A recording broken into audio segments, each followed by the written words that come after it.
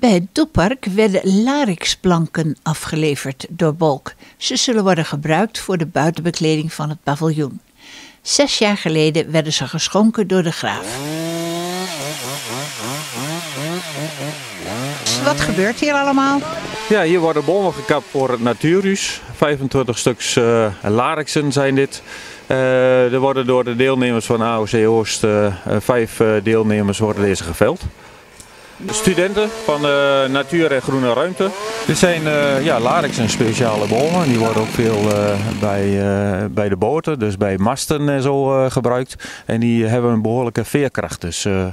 die worden daar eigenlijk voor uitgekozen en ook voor dit project prima te gebruiken. En ehm, kunnen ze dan direct bij dat Natuurhuis gebruikt worden? Nee, dat niet. Ze moeten nog uh, inwateren zoals we dat uh, noemen. Dus ze komen nog een half jaar in het water uh, te liggen.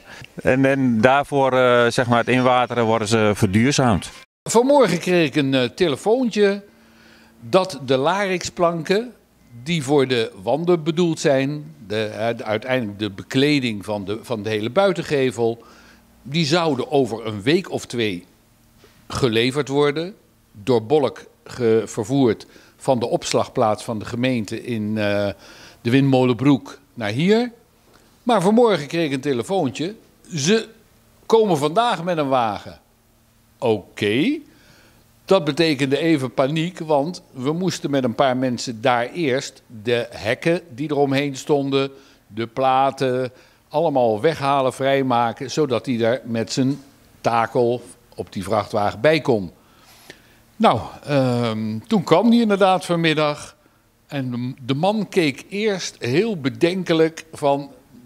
Dit, hier kan ik niet bij of dit gaat hem niet worden. Maar hij draaide geleidelijk bij. En zo is uiteindelijk ruim de helft van de hele Larix-plankenvracht hier nu afgeleverd.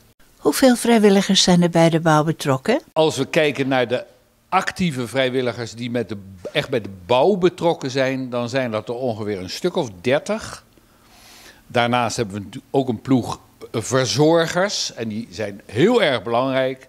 Dus alle dagen is er ook iemand die voor koffie, thee, soep, uh, lekkere dingen af en toe uh, zorgt. Dus de verzorging, die wil ik extra een pluim geven, want die doen het fantastisch. Uh, we staan er zelf af en toe van te kijken. Als je per dag kijkt, denk je, wat hebben we nou eigenlijk gedaan? Maar bekijk je het per week, dan hebben we weer flinke stappen gezet. En dat allemaal met vrijwilligers. Ja, het is gewoon een hele mooie klus samen.